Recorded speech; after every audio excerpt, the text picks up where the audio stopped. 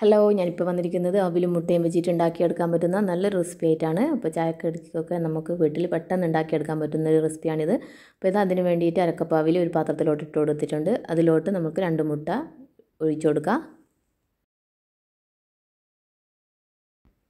ഇതിലോട്ട് ഒരു പിടി തേങ്ങ ഇട്ട് കൊടുക്കുക അതേപോലെ തന്നെ മധുരത്തിനാവശ്യമായ പഞ്ചസാരയും ചേർത്ത് കൊടുക്കുക. അപ്പോൾ ഞാനിവിടെ മൂന്ന് ടേബിൾ സ്പൂൺ പഞ്ചസാരയാണ് ഇട്ട് കൊടുക്കുന്നത്.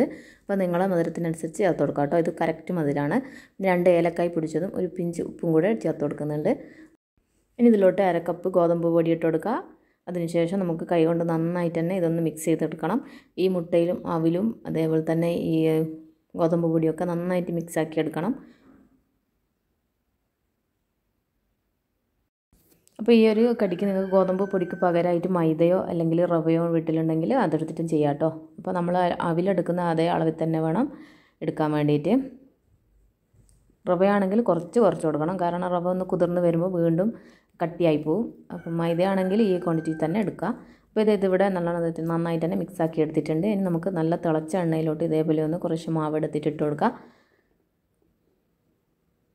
മീഡിയം ഫ്ലെയിമിൽ വെച്ചിട്ട് നമുക്കിതൊന്ന് ഫ്രൈ ചെയ്തെടുക്കണം.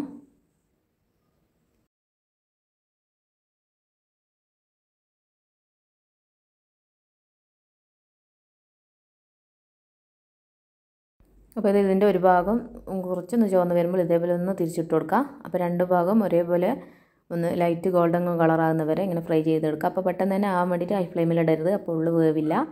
അപ്പോൾ ഗോതമ്പ് പൊടിയൊക്കെ ചേർത്തതല്ലേ? അപ്പോൾ അത് കാരണം അപ്പോൾ ഇതാ ഇതിവിടെ നന്നായിട്ട് തന്നെ ആയി വന്നിട്ടുണ്ട്. മീഡിയം ഫ്ലെയിമിലിട്ട് ഇതേപോലെ ഒന്ന് ഫ്രൈ ചെയ്തെടുക്കാം കേട്ടോ. അപ്പോൾ ഇതാ നമുക്ക് ബാക്കിയുള്ളതും കൂടെ ഇതേപോലെ ഒന്ന് ഫ്രൈ ചെയ്തെടുക്കാം.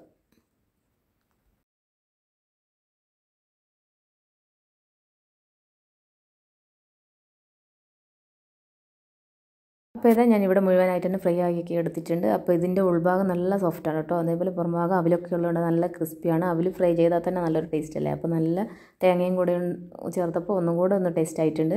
അപ്പോൾ എന്തായാലും നിങ്ങളൊന്ന് ട്രൈ ചെയ്ത് നോക്കട്ടെ പെട്ടെന്ന് തന്നെ കഴിയും. ഒരു അഞ്ച് മിനിറ്റിന്റെ ഉള്ളിൽ തന്നെ നമുക്ക് ഈ ഒരു കടി തയ്യാറാക്കി എടുക്കാൻ പറ്റും.